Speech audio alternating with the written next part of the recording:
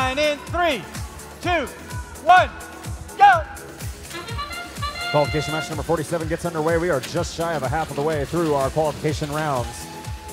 It's going to be a long afternoon here, and it's going to be a very exciting afternoon as we continue to play Rapid React here at the Pacific Northwest District Championship. Scoring clinic put on there, actually by both alliances, really. Both alliances will easily clear the quintet.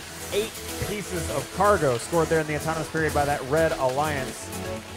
Those teams not having the world's best day on the leaderboard so far, but they are clearly starting to dial it in and get these machines ready to go if this match is anything to show for it. 42 to 39 your live score. Remember that our leaderboard is packed pretty tight, so it doesn't take much to do some pretty serious jumps. Just looking down there in the mid 20s where a couple of these teams are, that's about 2.8 rank points, and it just doesn't take much. 2.9 would already move you up to 17th and clearing three can move you as high as 12th. So there is just so much room to move here on the leaderboard this early on.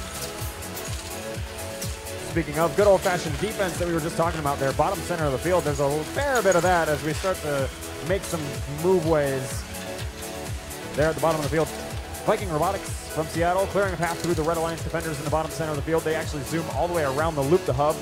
No cargo loaded up in that machine. They're just trying to find their bearings Maybe calibrate the camera a little bit, try and figure out where that robot's going.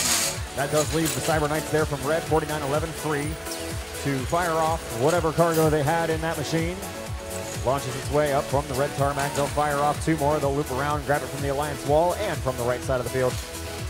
Put up four points for the Alliance score. Their Alliance partners, the Stormbots out of Vancouver, another solid team so far this year. Pretty reliable offensive efforts they're able to fire from the lower tarmac there, add four points at a time onto the Alliance score. It's going to bring your Alliance score actually up to 84 red, 69 blue. Both alliances have cleared the bonus rank point threshold. The Red Alliance has done so by literally double and counting. We've got 20 seconds left to play. 36 pieces, 37 now of cargo. Blue Alliance is trying to make up that lost cargo score in climb score. We're going to have 1540 there for Blue Flaming Chickens out of Portland. They're ranked 24 right now. Up on the traversal, I think I might have just saw magic smoke off one of those robots. No, I didn't. Hopefully not. Looks like their alliance partner will also join them up on the traversal. A double traverse on blue. We'll have a single traverse on red coming from the Cyber Knights out of Seattle, and they'll be joined on the high rung. Your final score 121 red, 111 blue. I was just talking about how quick it is to jump up the leaderboard here. Each of those teams on the Red Alliance moving up anywhere from 7 to 10 ranks with those four rank points added into their average.